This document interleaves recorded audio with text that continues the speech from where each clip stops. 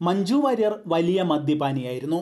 വെള്ളമടി ശീലം കാരണം ദിലീപ് ആകെ പൊറുതിമുട്ടി ദിലീപിനോട് ചോദിക്കാതെ ഡാൻസ് കളിക്കാൻ പോയി. ഇത്തരം ആരോപണങ്ങൾ നടി മഞ്ജു വാര്യർക്കെതിരെ സൃഷ്ടിച്ച് ദിലീപിന്റെ സഹോദരൻ അനൂപിനെ ദിലീപിന്റെ അഡ്വക്കേറ്റ് പറഞ്ഞു പഠിപ്പിക്കുന്ന ശബ്ദരേഖ പുറത്തു വന്നത് ദിലീപ് എന്ന വ്യക്തിയുടെ കള്ളത്തരം പുറത്തു കൊണ്ടുവന്നിരിക്കുകയാണ്. കാരണം ആ ശബ്ദരേഖയിൽ അനൂപ് പറയുന്നുണ്ട് മഞ്ജു ചേച്ചി മദ്യപിക്കില്ല ഞാൻ കണ്ടിട്ടില്ല എന്ന്. പക്ഷെ വക്കീൽ നേരെ തിരിച്ചു പറയാൻ പ്രേരിപ്പിക്കുന്നു. എങ്ങനെയും കോടതിയിൽ കേസിന് ബലമുണ്ടാക്കുക എന്നത് മാത്രമാണ് ലക്ഷ്യം. ഇത്തരത്തിൽ ചില ആരോപണങ്ങൾ മഞ്ജു വാര്യർക്കെതിരെ ദിലീപ് അനുയായികൾ നിരന്തരമായി പ്രചരിപ്പിക്കുമ്പോൾ ഈ വിഷയത്തിൽ ഞെട്ടിക്കുന്ന വെളിപ്പെടുത്തലുമായി എത്തിയിരിക്കുകയാണ് ഡബ്ബിംഗ് ആർട്ടിസ്റ്റായ ഭാഗ്യലക്ഷ്മി. ഭാഗ്യലക്ഷ്മി പറയുന്നത് ഇങ്ങനെ മഞ്ജു വാര്യർ ഡാൻസ് കളിക്കാൻ പോയ സംഭവം എനിക്ക് നേരിട്ടറിയാം. കരിക്കകം ക്ഷേത്രത്തിൽ നൃത്തപരിപാടി അവതരിപ്പിക്കാനാണ് മഞ്ജു അന്ന് പോയത്. പക്ഷേ അത് ദിലീപ് പറയും പോലെയൊന്നുമല്ല. കരിക്കകം ക്ഷേത്രത്തിലെ ഭാരവാഹികൾ ഒരു ദിവസം എന്നെ വിളിച്ചു പറയുന്നു മഞ്ജു വാര്യരുടെ നൃത്ത പരിപാടി ഒന്ന് സംഘടിപ്പിച്ചു കൊടുക്കാമോ? എന്ന്. ഞാൻ പറഞ്ഞു എനിക്ക് മഞ്ജുവിനെ നേരിട്ട് പരിചയമില്ല. ഫോൺ നമ്പർ പോലും അറിയില്ല. ഒരിക്കൽ കണ്ടിട്ടുണ്ട് എന്ന് മാത്രം.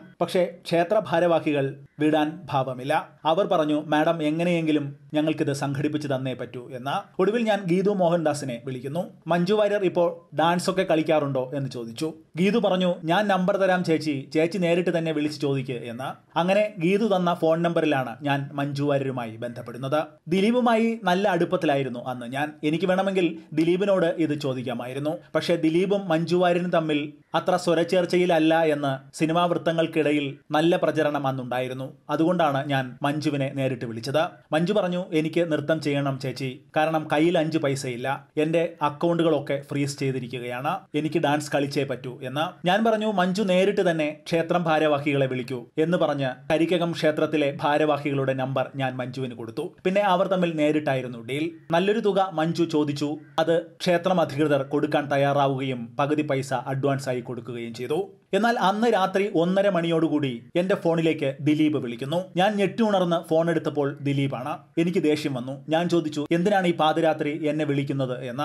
ദിലീപിന്റെ മറുപടി ഇവിടെ വലിയ പ്രശ്നമാണ് ചേച്ചി. ചേച്ചി മഞ്ജുവിന് ഡാൻസ് പരിപാടി തരപ്പെടുത്തി കൊടുത്തോ എന്ന്. ഞാൻ പറഞ്ഞു ഞാൻ തരപ്പെടുത്തി കൊടുത്തതല്ല. കരിക്കകം ക്ഷേത്രവുമായി മഞ്ജു വാര്യരെ ഒന്ന് ബന്ധപ്പെടുത്തി കൊടുത്തു എന്ന് മാത്രം. ബാക്കിയെല്ലാം അവരാണ് സംസാരിച്ച് ഉറപ്പിച്ചത്. അത് പറ്റില്ല ചേച്ചി. എങ്ങനെയും ഈ നൃത്ത പരിപാടി തടയണം. ചേച്ചി മഞ്ജുവിനോടൊന്ന് സംസാരിക്കണം. ചേച്ചിയെ വലിയ ബഹുമാനവും സ്നേഹവുമാണ് അവൾക്ക്. എന്ന് ഞാൻ പറഞ്ഞു പതിനാല് വർഷം നിങ്ങൾക്കൊപ്പം ജീവിക്കുന്ന സ്വന്തം ഭാര്യയെ സ്വാധീനിക്കാൻ നിങ്ങൾക്ക് കഴിയുന്നില്ലെങ്കിൽ ഇന്നലെ മാത്രം നമ്പർ കെട്ടി പരിചയപ്പെട്ട എനിക്ക് മഞ്ജു വാര്യരെ സ്വാധീനിക്കാൻ പറ്റുമോ? എന്ന് ഞാൻ പറഞ്ഞു ഒരു കാരണവശാലും ഈ വിഷയത്തിൽ ഞാൻ ഇടപെടില്ല. എന്ന് ഇതോടെ ദിലീപ് പൊട്ടിത്തെറിച്ചു. എന്നോട് എന്തൊക്കെയോ ആക്രോശിച്ചു. ഹാർഷായി പെരുമാറി. ഞാനും തിരിച്ച് എന്തൊക്കെയോ പറഞ്ഞു. ഒടുവിൽ ഫോൺ കട്ട് ചെയ്തു. അപ്പോൾ തന്നെ ഞാൻ മഞ്ജുവിന് മെസ്സേജ് അയച്ചു എന്നെ രാവിലെ വിളിക്കാൻ. മഞ്ജു വിളിച്ചപ്പോൾ ഞാൻ കാര്യം പറഞ്ഞു.